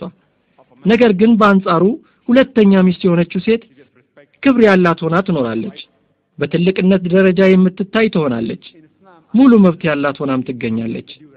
እስልምና አልሐምዱሊላህ ለሴት ልጅ ተገቢውን መብት ሰጥቷታል። በምዕራቡ ዓለም ውስጥ አንድ ወንድ የፈለገ ቁጥር ያላቸው ቁባቶች ቢኖረው ተቀባይነት ሲያገኝ፣ ነገር ግን ሁለተኛ ሚስት የሚለው አይዋጥላቸውም። እስልምና ለሰው ልጆች ችግሮች መፍትሄ ያለው ሃይማኖት ነው። እስልምና ጥሩ ነገሮችን ከመናገር አንጻር ዝሙትን አትስሩ ወዘተ እያለ ለሁሉም መፍትሄ ይሰጣል። ሌሎቹንም ሃይማኖቶች ብትመለከቱ ስለ መልካም ነገሮች ይናገራሉ። አትስረቁ፣ አታታሉ፣ ዝሙት አትስሩ። እስልምናም ይህንኑ ይላል። ነገር ግን በኢስላም እና በሌሎቹ መካከል ያለው ልዩነት ኢስላም መልካም ስራዎችን ከመናገር በተጨማሪ ወደ ውጤቱ ለመድረስ የሚያስፈልገውን መንገድ ያሳየናል። ይህንን መርህ ለመተግበር መከተል ያለብንን ይመራናል። ለምሳሌ ሁሉም ሃይማኖቶች ምዕራባውያንን ጨምሮ እንደሚሉት አንድ ሰው መስረቅ የለበትም። የአሜሪካና የአውሮፓን ህገ መንግስታት ብንመለከት ዜጎች መስረቅ የለባቸውም። ሰርቀው ቢገኙ ግን ለአድራጊው አንዳንድ ቅጣቶች ተቀምጠዋል። ነገር ግን ውጤት ሲያመጣ አይታይም። በተመሳሳይ ኢስላምን መስረቅን ይከለክላል። ኢስላም ሰዎች ወደ ስርቆት እንዴት እንዳይሄዱ ማድረግ እንደሚቻል መፍትሄ ያስቀምጣል። ኢስላም የዘካ ስርዓት አለው። ሁሉም ሀብታም ነው። ሁሉም ሀብታም ሰው ከኒሳብ ደረጃ በየአመቱ ከ85 ግራም ወርቅ በላይ ካለው 2.5 በመቶ በታክስ መልክ መስጠት ይኖርበታል። ሁሉም ሀብታም ዘካ ቢሰጥ ድህነት ከዓለም ላይ ይጠፋል። በረሃብ የሚሞት አንድም የሰው ልጅ አይገኝም ነበር።. ቅዱስ ቁርአን ሱረቱል ማኢዳ ምዕራፍ አምስት አንቀጽ 38 የወንድ ወይም የሴት ሌቦችን እጃቸውን ቁረጧቸው ለፈጸሙት ኃጢአት ዋጋ ይህ ከአላህ የሆነ ቅጣት ነው ይላል። ሙስሊም ያልሆኑ ምዕራባውያን ምናልባት እጅን መቁረጥ በዚህ የሳይንስና ቴክኖሎጂ ዘመን እስልምና ኋላ ቀር ሃይማኖት ነው፣ ጭካኔ የተሞላበት ህግ ነው ሊሉ ይችላሉ። ወደ ሳውዲ አረቢያ ብትሄዱና የህጉን አተገባበር ብትመለከቱ እኔ ለብዙ ጊዜ እዛ ሄጃለሁ። አንድም ጊዜ አንድም ሰው እጁን ሲቆረጥ አላየሁም። ጥቂት ሰዎች ቅጣቱ ሊደርስባቸው ቢችልም ያን ያህል የተለመደና የሚዘወተር ክስተት አይደለም። እናም እነዚህ ምዕራባውያን ሰውየው ከተሰረቀና እጁ ከተቆረጠ ስለ ቤተሰቦቹ፣ ስለ ልጆቹ በማንሳት የጭካኔ ህግ ነው ይላሉ። እኔ ምለው ኢስላም ለዚህ መፍትሄ አለው ነው። ኢስላም ግለሰቡ ችግር ካለበትና እጁ ከተቆረጠ የቤተሰቡ ጉዳይ ለእስላማዊው መንግስት የሚታው ይሆናል። ዋናው ጥያቄ ምን ያህል ሰዎች እጃቸው እየተቆረጠ ነው የሚለው ነው። ህጉ በጠበቀው ቁጥር የሚሰርቅ አይኖርም። ታዲያ ቅጣቱን የመፈጸሙ ጥያቄ የታለ? ወንጀል በሌለበት የቅጣት ጥያቄ ማንሳቱስ? ዛሬ አደጉ ከሚባሉት ሀገሮች አንዷ አሜሪካ ከፍተኛ ቁጥር ያለው ወንጀል ይሰራል። ስርቆት፣ ዝርፊያ፣ አስገድዶ መድፈር ወዘተ። እኔ የምጠይቃቸው እናንተ እስላማዊውን የሸሪዓ ህግ በሀገሪቱ ብትተገብሩና ሁሉም ሀብታም ዘካ እንዲሰጥ ቢደረግ ከዚያም የሚሰርቅ ወይም የምትሰርቅ ብትኖር እጃቸው ይቆረጥ የሚል ቅጣት ቢጣል እስኪ ልጠይቃችሁ። በአሜሪካ ያለው የስርቆትና የዝርፊያ ወንጀል መጠን ይጨምራል? በዚያው ይቀራል ወይስ ይቀንሳል? ምን ይሆናል? ይጨምራል? በዚያው ይቀራል ወይስ ይቀንሳል? ይቀንሳል። ይህ በተግባር የታየ እኮ ነው። ለዚህ ነው እስላም አንድ መልካም ስራ ማዘዝ ብቻ ሳይሆን ይህ ስራ እንዴት መተግበር እንዳለበት ይደነግጋል የምለው። አብዛኛዎቹ ምዕራባውያን ወደ ኢስላም የመምጣታቸው ምክንያትም ይኸው ነው። አንድ ምሳሌ ልስጣችሁ። አብዛኛዎቹ ፍልስፍናዎች አብዛኛዎቹ ሃይማኖቶች ምዕራባውያንን ጨምሮ በህጎቻቸው እንደሚሉት ሴትን ልጅ መተናኮልና መድፈር ክልክል ነው። የአሜሪካንና የአውሮፓን ህገ መንግስታት ተመልክታችሁ ከሆነ ሴትን ልጅ መተናኮልና መድፈር አይቻልም ይላሉ። እስልምናም የሚለው ይህንኑ ነው። ነገር ግን እስልምና ወንዶች ሴቶችን እንዳይደፍሩ እንዴት ማድረግ እንደሚቻል ይነግረናል። ለምሳሌ ኢስላም ሂጃብ የማድረግ መርህን ይከተላል። በተለምዶ አብዛኛዎቹ ሙስሊም አስተማሪዎች ስለ ሴት ልጅ ሂጃብ አደራረግ ብቻ ያወራሉ ነገር ግን አላህ ስብሓንሁ ወተዓላ በቁርአን ስለ ሴት ልጅ አለባበስ ከመናገሩ በፊት የተናገረው ስለ ወንድ ልጅ ሂጃብ ነው። ቁርአን በሱረቱ ኑር ምዕራፍ 24 አንቀጽ 30 ላይ ለአማኝ ወንዶች እይታቸውን እንዲቆጣጠሩና ብልቶቻቸውንም እንዲጠብቁ ንገራቸው። ይህ ለእነርሱ ተመራጭ ነው። አላህ የሚሰሩትን ሁሉ ጠንቅቆ ያውቃል ይላል። ወንድ ልጅ ሴትን ባየ ጊዜ በአእምሮ ውስጥ መጥፎ ሐሳብ እንዳይመጣበት አይኑን ሰበር ማድረግ እንዳለበት ቅዱስ ቁርአን ያስተምረናል በአንድ ወቅት ከአንድ አስቂኝ ሙስሊም ጓደኛዬ ጋር አብረን ሳለን አንዲትን ሴት ለረጅም ጊዜ ትኩር ብሎ ይመለከታል። እኔም የኔ ወንድም ምን እየሰራህ ነው? እንዲህ አይነቱ አስተያየት እኮ በኢስላም ክልክል ነው አልኩት። ምን እንዳለኝ ታውቃላችሁ? ነቢያችን ሰለላሁ ዐለይሂ ወሰለም የመጀመሪያ እይታ የተፈቀደ ነው የተከለከለው ሁለተኛ ማየቱ ነው ብለዋል። እኔ ደግሞ ገና ግማሽ እይታዬን እንኳን አልጨረስኩም ማለት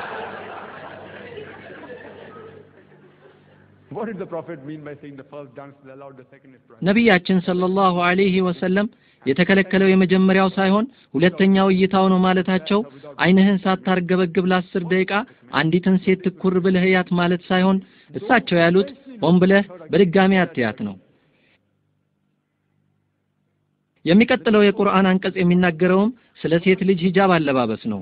ሱረቱ ኑር ምዕራፍ 24 አንቀጽ 31 ለአማኝ ሴቶችም እይታቸውን እንዲቆጣጠሩና ብልቶቻቸውንም እንዲጠብቁ ጌጦቻቸውንም መገለጡ ግድ ሆኖ ግልጽ ከሆነው በስተቀር አይገለጡ። ጉፍታዎቻቸውንም ከአንገቶቻቸው ላይ ያጣፉ። የውስጥ ጌጦቻቸውንም ከባሎቻቸው ከአባቶቻቸው ከወንድ ልጆቻቸውና ሌሎችም ሊያገቧቸው የማይፈቀድላቸው የቅርብ ዘመዶች በስተቀር እንዳያሳዩ ያዛል። በቁርአንና በሐዲስ ስለ ሂጃብ ስድስት መሰረታዊ የሆኑ መስፈርቶች አሉ። ለወንድ የመጨረሻው ገደብ ከእምብርት እስከ ጉልበት ያለውን አካል መሸፈን ሲሆን ለሴት ደግሞ ከፊቷና ከሁለት እጆቿ መዳፍ በስተቀር መላ ሰውነቷ መሸፈን ይኖርበታል። አንዳንድ ሙስሊም ምሁራን እንደውም እነዚህ አካላትም ጭምር መሸፈን አለባቸው ይላሉ። ከስድስቱ መስፈርቶች የቀሩት አምስቱ ለወንድም ለሴትም አንድ አይነት ናቸው። ሁለተኛው መስፈርት ወንዶችም ሆኑ ሴቶች የሚለብሷቸው ልብሶች ጠባብ ሆነው የሰውነት ቅርጽን የሚያጋልጡ መሆን የለባቸውም። ሶስተኛው መስፈርት ደግሞ ስስ ሆኖ አካልን የሚያሳይ ልብስ መሆን የለበትም። በአራተኛነት የልብሱ ውበት ተቃራኒ ጾታን የሚስብ አይነት መሆን የለበትም። አምስተኛ ሙስሊም ያልሆኑ ሰዎችን ልብስ መምሰል የለበትም። ለምሳሌ እንደ የክርስቲያኖች መስቀልና የሂንዱዎች የእምነት ምስሎች ያሉበት በአጠቃላይ የሌላ እምነት ተከታዮች መለያ ምልክት ያለባቸው ልብሶች መሆን የለባቸውም። በመጨረሻም አንዱ ጾታ የሌላውን ተቃራኒ ጾታ አይነት ልብስና ጌጣጌጥ አለማድረግ ናቸው ወንዶች አንድ የጆሮ ጉትቻ ካደረጉ ትርጉም አለው። ግማሽ ሴት ወይም ሰዶማዊ ነኝ እንደማለት ነው። እንደዚህ አይነት ድርጊቶች በእስልምና የተከለከሉ ናቸው። ሂጃብ ልብስ አለባበስን ብቻ የሚመለከት አይደለም። ይልቁንም ሞራላዊ ስራን ግብረ ገብን ጸባይን ድርጊትንና አስተሳሰብን ያካትታል። ካለባበስ ጎን ለጎንም የአይን ሂጃብ የአእምሮ ሂጃብ የአስተሳሰብና የልብ ሂጃቦች መኖር አለባቸው። አንድ ሰው በአነጋገሩ በባህሪው በአስተሳሰቡም ሆነ በእንቅስቃሴው ሂጃብ እንዲኖረው ያስፈልጋል። ስለ ሴቶች አለባበስ ቅዱስ ቁርአን በሱረቱ ለአሕዛብ ምዕራፍ 33 አንቀጽ 59 አንተ ነቢዩ ሆይ ለሚስቶችህም ለሴት ልጆችህም ለአማኝ ሴቶችም መከናነቢያቸውን ከአካላቸው ላይ እንዲለቁ ነገራቸው። ይህን ማድረጋቸው ማንነታቸው እንዲታወቁና በባለጌዎች እንዳይታወቁ እገዛ ያደርግላቸዋል ይለናል። ቁርአን ምክንያቱን ይነግረናል። ሴቶች ከቤት ሲወጡ ከትንኮሳና ከለከፋ የሚጠብቃቸው በመሆኑ ማንነታቸው እንዲታወቅ ጉፍታቸውን ከልብሳቸው በላይ ይደርቡ ይለናል። እዚህ ላይ ቁርአን የሚያስረዳን ሂጃብ ሴት ልጅን ከተንኮለኞች የሚጠብቃት መሆኑን ነው። ለምሳሌ ሁለት መንታ የሆኑ ቆንጆ እህትማማቾች አሉ እንበል። እዚህ ማሌዥያ ኳላላምፑር ጎዳና ላይ አንዷ እስላማዊ አለባበስ ለብሳ ከፊቷና ከመዳፎቿ በስተቀር መላ ሰውነቷን ተሸፍና፣ ሌላኛዋ እንደ እርሷ ቆንጆ የሆነች እህቷ ደግሞ እንደ ምዕራቡ አለባበስ በእነሱ አጠራር ሚኒ ወይም ሚኒስከርት በእኛ ደግሞ ቁራጭ ብጣሽ ጥብቆ ልብስ ለብሳለች። ሁለቱም ሴት አጥማጅ ቦዘኔዎች መሰብሰቢያ ጥግ ሲያልፉ ቦዘኔዎቹ የትኛይቱን ልጅ ነው ለመተናኮል የሚቃጡት? ሂጃብ ያደረገችውን ወይስ ባለ ቁራጭ ጥብቆዋን? የትኛይቱን ይተናኮላሉ? በእርግጠኝነት ቁራጭ ጥብቆ የለጠፈችውን ነው። ይህች ሴት በአለባበሷ ወንዶች እንዲተናኮሏት እየጋበዘች ነው። ለዚህ ነው ቁርአን ሂጃብ በእርግጥ ከትንኮሳ ያድናል ብሎ ያስቀመጠው። ከዚያም ሂጃቡን ተላልፎ ሴትን ልጅ የደፈረን በሞት ቅጣት እንዲቀጣ ያዘዘው። ምዕራባውያን በዚህ ሳይንስና ቴክኖሎጂ በመጠቀበት በሀያኛው ክፍለ ዘመን የሞት ቅጣት ብለው በማጋነን እስልምናን ጨካኝ ሃይማኖት ነው ሊሉ ይችላሉ። በብዙ አጋጣሚዎች ከምዕራባውያን ጋር ስንገናኝና ይህ ርዕስ ሲነሳ ለምሳሌ አንድ ሰው ሚስትህን ወይም እናትህን አስገድዶ ቢደፍርና ወንጀለኛው አንተ የመሃል ዳኛ የሆንክበት ችሎት ለፍርድ ቢቀርብ ምን አይነት ቅጣት ትፈርድበታለህ ብዬ ጠይቃቸዋለሁ። እመኑኝ ሁሉም የሞት ቅጣት እፈርድበታለሁ ነው ያሉት። አንዱ እንደውም እስኪሞት ድረስ አሰቃየው ነበር ነው ያለኝ። ታዲያ እናንተ ምዕራባውያን ነገሮችን ለምን በሁለት መለኪያ ትሰፍራላችሁ? ባለቤትህ ወይም እናትህ ከተደፈረች ወንጀለኛውን መግደል እየመረጥክ እንዴት የሌላ ሰው ሚስት ወይም እናት ስትደፈር ኢስላምን ጨካኝ ታደርጋለህ? ለምን ሁለት መለኪያ ለአንድ ድርጊት ይኖራችኋል? እላችኋለሁ። እስከ ዛሬ ካናገርኳቸው ውስጥ አንድ ምዕራባዊ ብቻ ነው የተለየ መልስ የሰጠኝ። ምን አለኝ መሰላችሁ? ወንጀለኛው እናቴን ወይም ሚስቴን ከደፈረ በመጀመሪያ የሰባት ዓመት እስራት አከናንበዋለሁ። እንደገና ሚስቴን ወይም ሌላ ሰው ከደፈረ ደግሞ የሞት ፍርድ እፈርድበታለሁ ነበር ያለኝ። የዚህ አይነቱን መልስ የሚሰጡ ብልጣ ብልጣ አሌክሶች አሉ። ብልጣ ብልጣ አሌክሶች። ለዚህ ወንድም የአሜሪካንን ስታቲስቲክስ ያውቀው እንደሆነ ነግረዋለሁ። እንደ ስታቲስቲክሱ በአሜሪካን ውስጥ አንድ አስገድዶ የደፈረ ወንጀለኛ የሰባት ዓመት ጽኑ እስራት ይፈረድበታል። ተፈርዶባቸው የቅጣት ጊዜያቸውን ጨርሰው የወጡት እንኳን ከመቶ ዘጠና አምስቱ ደግሞ ተመሳሳይ የመድፈር ወንጀል ፈጽመዋል።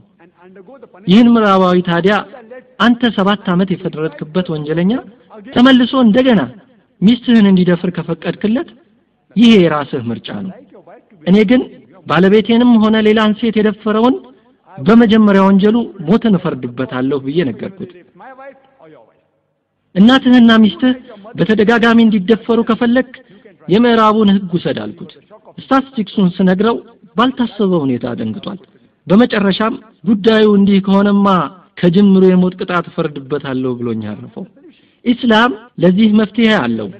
ታውቃላችሁ በአሜሪካ የ1990 የኤፍቢአይ ስታቲስቲክስ እንደሚጠቁመው በአመት ውስጥ 102555 ያስገድዶ መድፈር ወንጀሎች ተመዝግበዋል። ይህ አሃዝ ደግሞ ከአጠቃላዩ 16.5 ከመቶ ብቻ ነው። ስለዚሁ አጠቃላይ አሃዙን ለማወቅ በስድስት ነጥብ ሁለት አምስት ብናባዛው ስድስት መቶ አርባ ሺህ ዘጠኝ መቶ ስልሳ ስምንት ወንጀሎች በአመት ውስጥ ተፈጽመዋል ማለት ነው። ይህን አሃዝ ከእንደገና በአመት ውስጥ ላሉት ሶስት መቶ ስልሳ አምስት ቀናት ብናካፍለው በቀን ብቻ በአሜሪካ ውስጥ በአማካኝ አንድ ሺህ ሰባት መቶ ስልሳ ስምንት አስገድዶ የመድፈር ወንጀሎች ተፈጽመዋል ማለት ነው። ከዚህ በኋላም ሌላ ስታስቲክስ አንብቤ ነበር። ይህም ቢሆን በቀን ውስጥ በአሜሪካ 1900 ያስገድዶ መድፈር ወንጀሎች እንደሚከሰቱ ያሳያል። አሜሪካኖች ጠንቃቆች በመሆናቸው አመቱን አልጠቀሱትም። ምናልባት በ1992 ወይም 1993 ሊሆን ይችል ይሆናል። በቀን 1900 ያስገድዶ መድፈር ወንጀል። ይህም በእያንዳንዱ 1.3 ደቂቃ ውስጥ አንድ ያስገድዶ መድፈር ወንጀል እንደሚከሰት የሚያሳይ ሲሆን ልብ በሉ እኔ ለአንድ ሰዓት አለሁ አሜሪካን ውስጥ ከአርባ በላዮች ተደፍረዋል። የኤፍቢአይ ሪፖርት በመቀጠል እንደሚያስረዳን ከ16 በመቶ ያስገድዶ መድፈር ወንጀለኞች ውስጥ የተያዙት አስር በመቶዎቹ ብቻ ናቸው። ከዚህ መረዳት የሚቻለው ከወንጀለኞቹ ውስጥ የተያዙት አንድ ነጥብ ስድስት በመቶዎቹ ብቻ ሲሆኑ ከተያዙትም ውስጥ ግማሽ የሚሆኑት ለፍርድ ቀርበው ክስ ሳይመሰረትባቸው የተለቀቁ ሲሆን ከተያዙት አንድ ነጥብ ስድስት በመቶ ወንጀለኞች ውስጥ ዜሮ ነጥብ ስምንት በመቶዎቹ ብቻ ክስ ተመስርቶባቸዋል ማለት ነው። በቀላል አገላለጽ ያስገድዶ መድፈር ወንጀልን ለ125 ጊዜ የሰራ ለፍርድ የመቅረቡ እድል አንድ ጊዜ ብቻ ነው ማለት ነው። 125 ጊዜ ደፍሮ አንድ ጊዜ ብቻ ለፍትህ መቅረብ ምን ያሳየናል? የዚህ አይነቱን እድል ቁማርተኞች ጥሩ ቁማር ይሉታል። 125 ጊዜ በልቶ አንዴ መበላት። የሚገርመው ደግሞ ከነዚህ 50 በመቶ ለፍርድ የቀረቡ ወንጀለኞች ውስጥ 25 በመቶዎቹ ከአንድ ዓመት በታች የሆነ እስራት ይፈረድባቸዋል። 125 ጊዜ የደፈረው በአጋጣሚ አንዴ ተይዞ ለፍርድ ቢቀርብ ዳኛው የመጀመሪያው ስለሆነ ጨካኝ አንሆንበት በሚል ቀላል ፍርድ ይሰጣል። ተመልከቱ፣ ይህ የአሜሪካ ኤፍቢአይ ቢሮ መረጃ ነው። እስኪ አንድ ጥያቄ ልጠይቃችሁ። በአሜሪካን ውስጥ ኢስላማዊው የሸሪዓ ሕግ ተግባራዊ ቢደረግና ወንዶች ሴቶችን ከማየትና መጥፎ ነገርን በአእምሯቸው ከመቅረጽ ቢቆጠቡ ሴቶችም ሂጃባቸውን ቢለብሱና ማንም የአስገድዶ መድፈር ወንጀል ፈጻሚ በሞት ቢቀጣ አሜሪካ ውስጥ የዚህ ወንጀል መጠን ይጨምራል፣ በዚሁ ይቆያል ወይስ ይቀንሳል?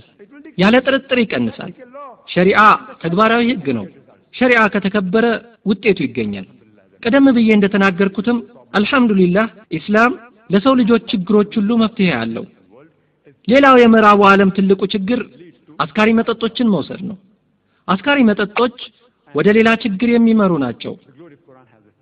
ቅዱስ ቁርአን ለዚህ ችግር በሱረቱል ማይዳ ምዕራፍ አምስት አንቀጽ ዘጠና እናንተ ያመናችሁ ሆይ አስካሪ መጠጥ፣ ቁማርም፣ ጣዖታትም፣ አዝላምም የሰይጣን ድርጊት የሆኑ እርኩስ ነገሮች ናቸው። ከነኚህ ነገሮች ታቀቡ በማለት መፍትሄውን ይሰጠናል። abstain from this handiwork that you may prosper. The Quran says that alcoholism gambling, these are Satan's handiwork. Abstain from this handiwork that you may prosper. በአእምሯችን ውስጥ አንድ ማዕከል አለ። የዚህ ማዕከል ስራ ትክክል ያልሆኑ ነገሮችን እንዳንሰራ መከልከል ነው። ለምሳሌ የተፈጥሮ ጥሪን ሜዳ ላይ ለመፈጸም ብንፈልግ ይህ ክፍል ይህንን ድርጊት እዚህ አትፈጽም፣ ወደ መጸዳጃ ቤት ሂድ የሚል ትዕዛዝ ያስተላልፋል። መጥፎ እንዳልናገር በአክብሮት ተናገር፣ ታላላቆችህንና ቤተሰቦችህን አክብር፣ አጸያፊ ድርጊትንም አትፈጽም እያለ የሚያዝ አካልም ነው። ነገር ግን ከሰከራችሁ በወሰዳችሁት መጠጥ ምክንያት ይህ አካል ይደንዛል። ስለዚህ በስካር ሱስ የተጠመዱ ሰዎች የዚህ አይነቱን ባህሪ ተላብሰዋል። የሚጠቀሙትን ቋንቋ አያውቁትም። ወላጆቻቸውና ታላላቆቻቸውን ማወክ ይቀናቸዋል። አጠገባቸው ላለ ቦታም አይሰጡም። ያሻቸውን ይናገራሉ። ምክንያቱም የመቆጣጠሪያ ማዕከል የሆነው የአእምሮ ክፍላቸው መደነዙ ነው። በምዕራቡ ዓለም መረጃ መሰረት በተለይ አሜሪካ ውስጥ አብዛኛው አስገድዶ የመድፈር ወንጀል የሚፈጸመው በአስካሪ መጠጥ ኃይል ነው። ከመቶ ዘጠና አምስት የሚሆነው ወንጀል በስካር ኃይል ይፈጸማል። አስገድዶ ደፋሪው ወይም ተደፋሪው ከሁለቱ አንዱ ወይም ሁለቱም ለወንጀሉ በአስካሪ መጠጥ ኃይል መከሰት ምክንያት ናቸው።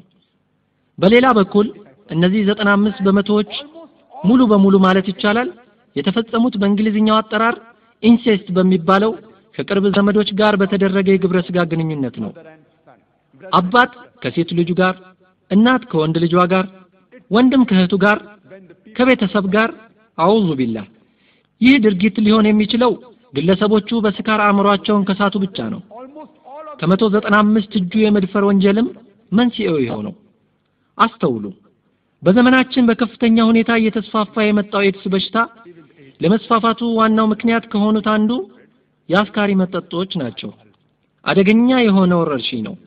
አንዳንድ ሰዎች እኛ ሱሰኞች ሳንሆን ማህበራዊ ጠጭ ነን ይላሉ። የምንወስደው መጠን በጣም ትንሽ ነው።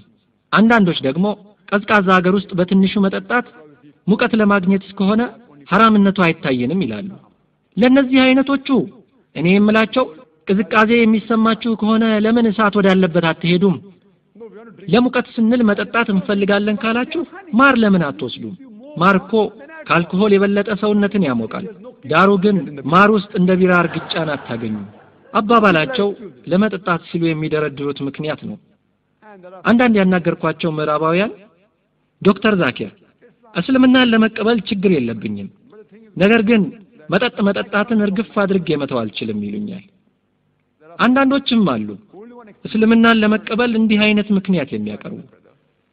ከነዚህ አይነት ሰዎች ጋር ውይይታችን እንዳይቋረጥ ስል እኔ ዶክተር ዛኪር አስካሪ መጠጥን ፈቅጄልሃለሁ፣ እስልምናን ትቀበላለህ ብዬ ሳፋጥጣቸው ዝምታን ይመርጣሉ። ሰዎች ላለመቀበል የሚሰጡት ምክንያት ነው እንጂ ለመቀበል አቀበት ሆኖባቸው አይደለም።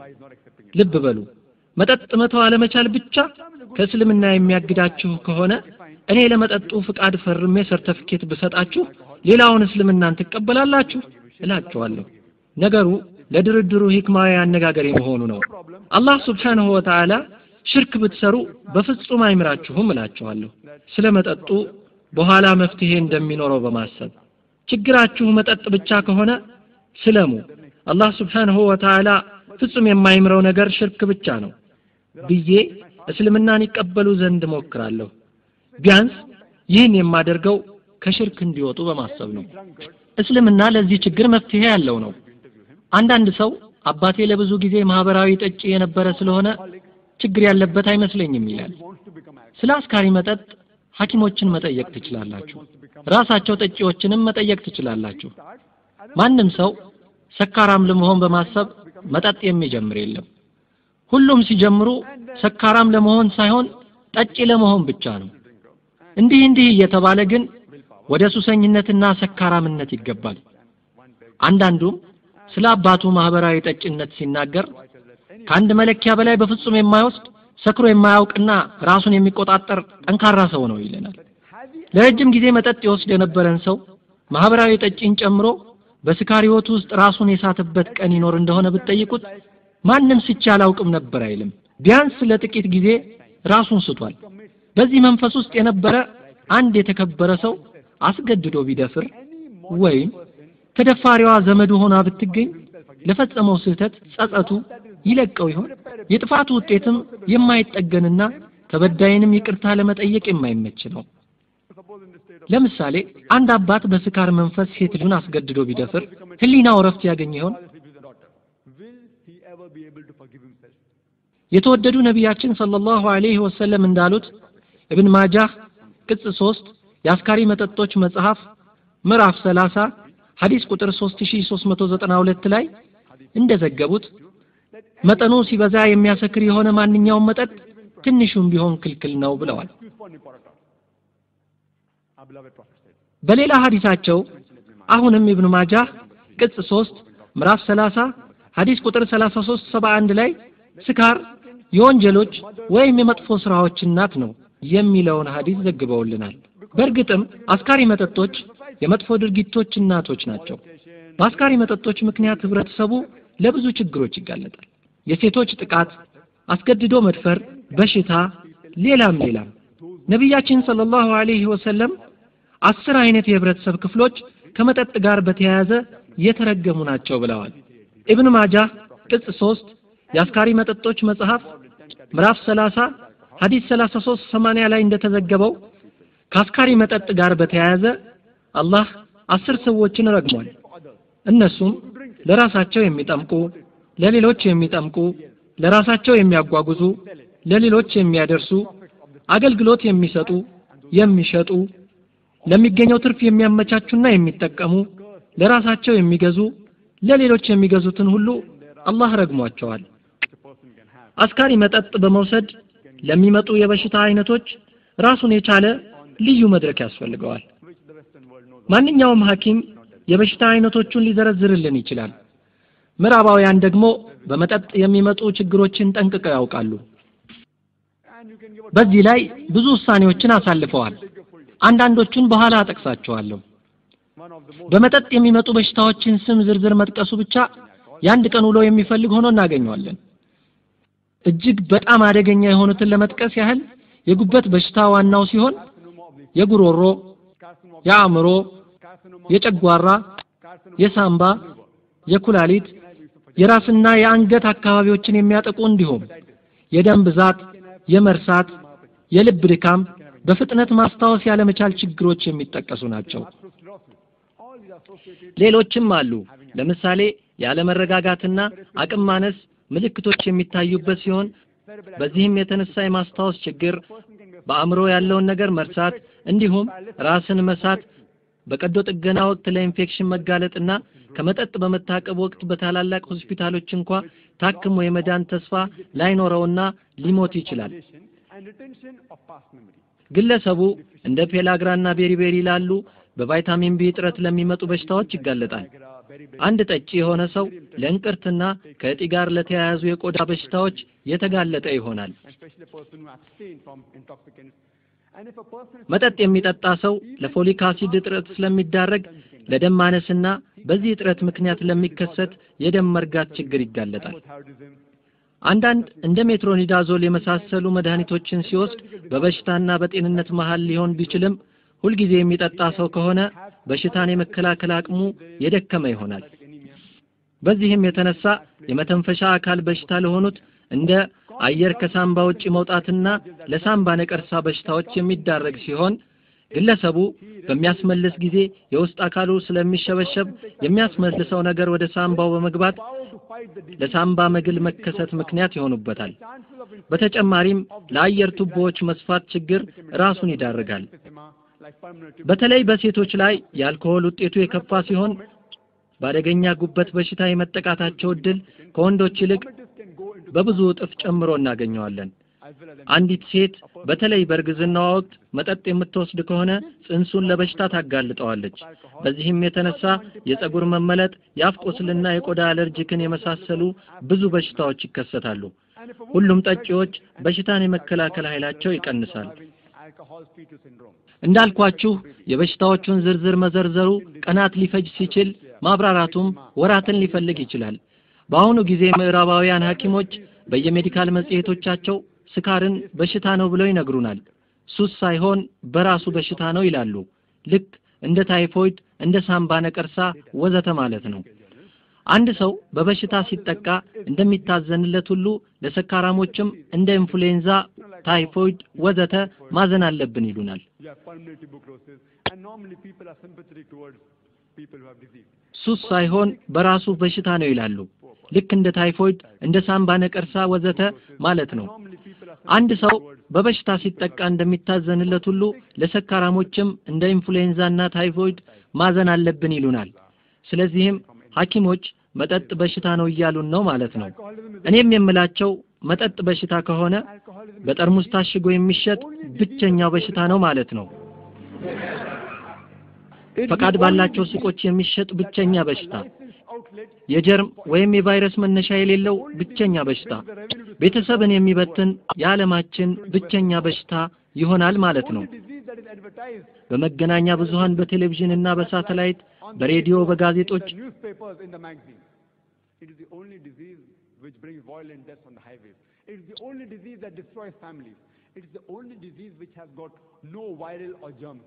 አስካሪ መጠጥ ግን በሽታ አይደለም። ቁርአን በሱረቱል ማይዳ ምዕራፍ አምስት ቁጥር ዘጠና እናንተ ያመናችሁ ሆይ አስካሪ መጠጥ፣ ቁማርም፣ ጣዖታትም፣ አዝላምም የሰይጣን ድርጊት የሆኑ ርኩስ ነገሮች ናቸው። ከነኚህ ነገሮች ታቀቡ በማለት በሽታ ሳይሆን የተወገዘ የሸይጣን ስራ እንደሆነ ነው የሚነግረን። ብልጽግናን ከፈለጋችሁ ከዚህ አይነቱ መጥፎ ስራ ተቆጠቡ ይለናል። ከችግሩ ለመራቅም ኢስላም መፍትሄዎቹን አስቀምጦልናል። መፍትሄው ሰላት ነው። ሰላት በተለምዶ ጸሎት የምንለውና የአላህ ስብሓንሁ ወተዓላን እዝነትና እርዳታ ለማግኘት የምንሰግደው ብቻ አይደለም። ምክንያቱም በሰላት እንስተካከላለን፣ በሰላት እንታደሳለን። አንድ ሰው ወዴት ትሄዳለህ ሲባል ወደ ሰላት ወይም ወደ ጸሎት ቢል ተቃውሞ የለኝም። እኔ ግን የሰላትን ትርጉም አያሟላም እላለሁ። ለመስተካከል ለመታደስ ብለን ብንልም ለብቻው ትርጉሙን አይሰጠንም። ምክንያቱም ሰላት በአካል እንቅስቃሴ ብቻ የሚገደብ ስም ወይም ድርጊት አይደለም። ለሰላት ስንቆም ኢማሙ ከሱረቱል ፋቲሃ ቀጥሎ የሚያነባቸው ለእኛ መልእክት እንዲሆን ነው። ለምሳሌ ከሱረቱል በቀራ ምዕራፍ ሁለት አንቀጽ 188 ስለ ባለስልጣናት በጉቦ መደለልና የሌላውን ሀብት ያለ አግባብ ስለ መዝረፍ ሲነግረን ጉቦኛ አትሆኑ፣ አትዝረፉ ማለቱ ነው። ከሱረቱል ማኢዳ ምዕራፍ አምስት አንቀጽ ዘጠና እናንተ ያመናችሁ ሆይ አስካሪ መጠጥ፣ ቁማርም፣ ጣዖታትም አዝላምም የሰይጣን ድርጊት የሆኑ እርኩስ ነገሮች ናቸው ከነኚህ ነገሮች ታቀቡ የሚለውም ቢያነብልን ስለ ቁማር መጥፎነት እየነገረን ነው ማለት ነው። እነዚህ የቁርአን አንቀጾች የየዕለቱ ማደሻና ማስተካከያ መፈክሮች ናቸው። በዚህች ጠፊና አጥፊ በሆኑ ነገሮች ባሸበረቀች ዓለም በዚህ መልኩ ካልተስተካከልን እንዴት እንስተካከላለን? ስለዚህ አላህ የምንስተካከልበትን የተሃድሶ አይነተኛ መንገድ አሳይቶናል። ዛሬ ምዕራባውያን የሚፈሩት አንድ ነገርን ብቻ ነው። እሱም በከፍተኛ ደረጃ የሚፈሩት እስልምናን ነው። ምዕራባውያን ስል ደግሞ የምዕራቡን ዓለም መሪዎች ማለቴ ነው። እስልምናን ይፈራሉ። ምክንያቱ ምን እንደሆነ ታውቃላችሁ? እነርሱ ዘንድ ያለውን የደስታ መጠን የሚነግሩን የሚያስተምሩን በህብረተሰቡ ዘንድ ያለውን መጥፎ ስራ በማንጸባረቅ ስለሆነ እስልምና በእነሱ ምድር ካንሰራራ እነዚህ ሰይጣናዊ ድርጊቶች መንምነው ስለሚጠፉ ነው። መጠጥ ሊቆም ነው። ዳንስ ሊቆም ነው ስካርና ጭፈራ ሊቆም ነው። አስገድዶ መድፈር ሊቆም ነው። ይሄ ሁሉ ከጠፋ ታዲያ መሪዎቹ ጥፋታቸውን በምን ይሸፋፍኑ? ለዚህም ነው በብዙሃን መገናኛ አማካኝነት በተከታታይ እስልምናን የሚጻረሩ መረጃዎችን በየጊዜው የሚያሰራጩት። በየቲቪና ሬዲዮ ስርጭታቸው በጋዜጣና መጽሔቶቻቸው ኢስላምን የማጥላላት ከንቱ የውንጀላ መረጃዎችን የሚደሰኩሩት የቦምብ ፍንዳታ ሳይቀር አንድ ቦታ ቢከሰት አድራጊው ሙስሊም መሆን አለበት እስከ ማለት ይደርሳሉ። ምክንያቱም እነሱ ሙስሊሞችን አክራሪዎችና ሽብርተኞች ናቸው ብለው ፈርጀዋል። በአሜሪካ የኦክላሃማ ፍንዳታ ወቅት ጋዜጦቻቸው የመካከለኛው ምስራቅ ሴራ ብለው ሰይመውት ነበር። ከጥቂት ጊዜ በኋላ አድራጊው አንድ የአሜሪካ ወታደር መሆኑ ሲደረስበት እንደ ቀድሞ በፊተኛው ገጽ ሳያሰፍሩ በውስጥ ገጾች ደብቀውታል በአንዳንድ ሀገሮች ጋዜጦች ላይ በፊት ገጽ በትልቁ ተጽፈው የምናገኛቸው የሀምሳ ዓመት ሙስሊም የአስራ ስድስት ዓመት ልጃገረድ አገባ የመሳሰሉ ጽሁፎች ሲሆኑ አንድ ሙስሊም ያልሆነ ጎልማሳ የስድስት ዓመት ህፃን ልጅ ሲደፍር ግን ዜናው እንዳይታይ በውስጥ ገጾች በትንሹ ተጽፎ እናገኘዋለን። አንዳንዴም በአጫጭር ዜናዎች ጥግ ላይ እናገኘዋለን